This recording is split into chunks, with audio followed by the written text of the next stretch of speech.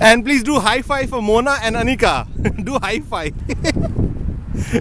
high five for Mona and Anika. Yay!